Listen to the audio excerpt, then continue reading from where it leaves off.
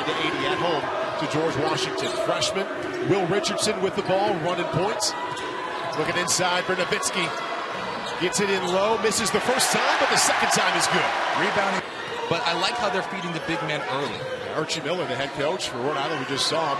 Three-pointer here from Richardson, knocks it down. That's the difference between these two teams. Fordham has a little bit more experience. Some graduate seniors. Quisenberry, wide open. Rams two for two for Will Richardson has one three, gives it up. Another miss. That's two in a row for Quisenberry, but put back by Khalid Moore. Shoot. Tough pull up on the lane, in and out. Tsimbila works the glass. I'm amazed. Spinning and scoring. Like the nastiness, you like the gritty, but there's a line. You have to realize that we have a game to play. Khalid Moore knocks down a three. There's Rory Stewart misfiring from down low. So now the momentum's starting to shift back into Fordham's favor. Good drive and one. And this is what happens when the momentum shifts. What happens? The crowd comes back in. You're reaching it two or three feet outside the block. That's an issue if you are Simbala. Tsimbila. You have to catch it closer to the rim.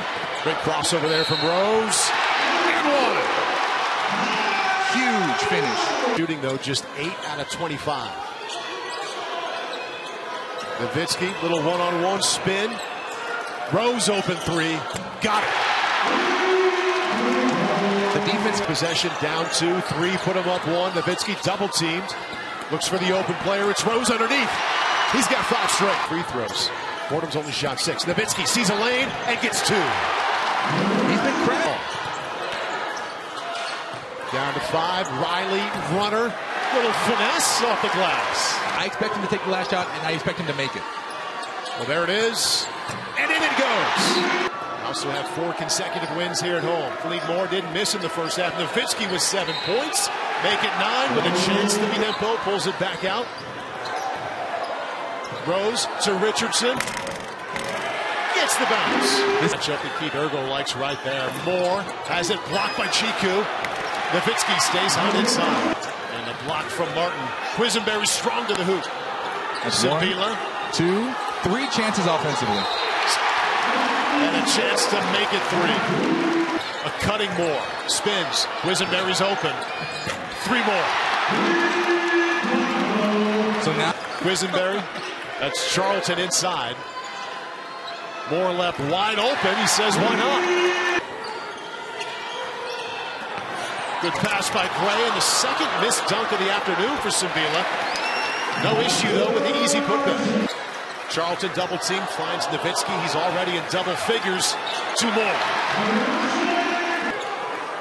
Gets it back out. Charlton. He's open.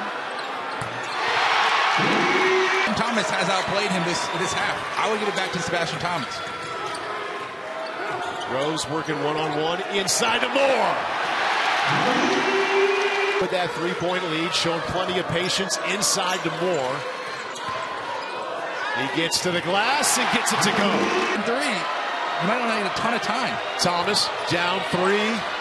Leggett lets it go. No. And that's how it ends.